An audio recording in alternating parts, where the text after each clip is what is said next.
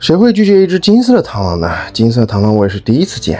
Hello，大家好，我是 Frank。之前也是和兄弟随口一说想养螳螂，于是他给我带了这么多只来，其中居然有一只金色的腐螳，好漂亮啊！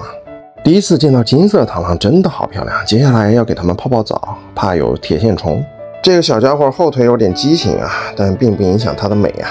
哎，小家伙，你是听到我夸你了吗？把这只金色腐螳放入水中的瞬间，它开始螳螂泳。螳螂游泳看过没有？看来它体内并没有寄生虫。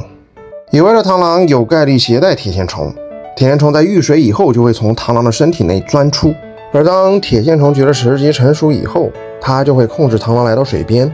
我曾经在浙江的溪流里面见到密密麻麻的螳螂坟墓，那条小溪只有一米多宽，十几公分的水深，水非常的清澈。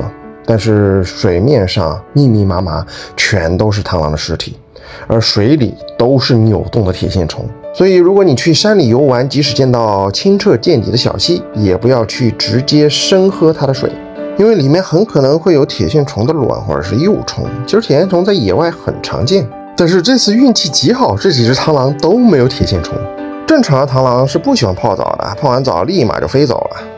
家里养不了那么多螳螂啊，挑选一个比较适合它们生存的环境，然后放生几只。这是一只中华大刀螳，分布很广，上海这边也有分布。走你，可别再被抓了。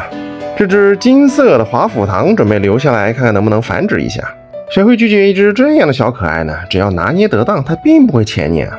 只有当它生命受到威胁的时候，它才会夹住你的手啊，确实挺疼。一般情况下，它对人类还是比较友好的，因为人类并不在它的食谱之中。